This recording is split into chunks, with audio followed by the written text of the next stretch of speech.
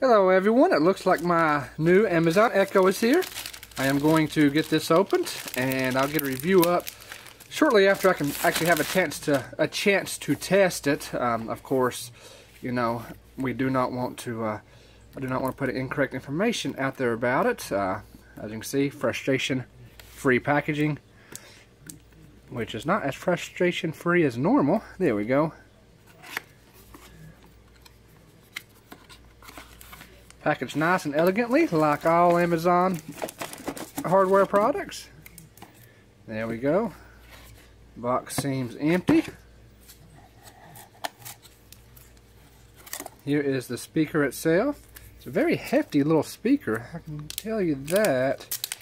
You know, it's about as heavy as the other original Echo was. Um, I decided to go with this one because I already have a wireless hub. I've got a Wink system, and uh, so I did not need the the new uh, Echo Plus that includes the wireless hub.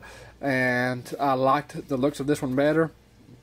And you know, hopefully the sound quality is a little better than the original. Um, it's a nice, uh, nice hefty speaker. I like the fabric case around it. That's a great plus. So let's see what else is in here. Of course, this speaker is not battery powered. It's like the original Echo. You do have to uh, uh, have it plugged up all the time. Uh, looks like it's got the same type of charger, which is kind of a shame. I was hoping they would go to maybe a USB charger. That way I could forego this big hefty power brick.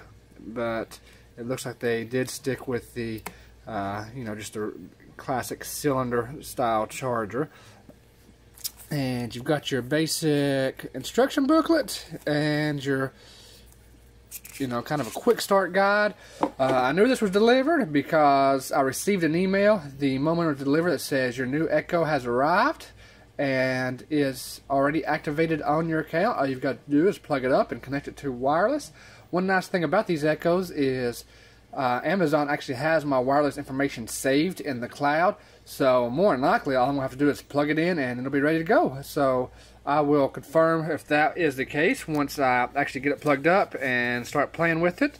So please be looking out for a review either today, tomorrow, or sometime this weekend. Uh, looks like there is a power button. Nope, that's an auxiliary out button right there. Let me get see if I can get the focus. That's an auxiliary out button. So you know, overall it's a, a nice looking little speaker. It's got the mic hose on the top. So, you know, it's it's got the same design as the new Echo Dots. So, you know, it's physical buttons versus the twist top. I kind of like the twist top, but, you know, honestly, how often did I actually try to uh, to turn up my Echo? One thing I did notice is no remote. The original Echo actually came at some point. I got my original one during the Prime Prime member uh, pre-order days, so I got it for $100, and it actually came with a Bluetooth remote that you could operate it with.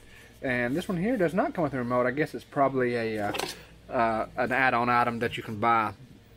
Uh, it's got, uh, of course, Amazon Music, Pandora, Spotify, uh, Hue.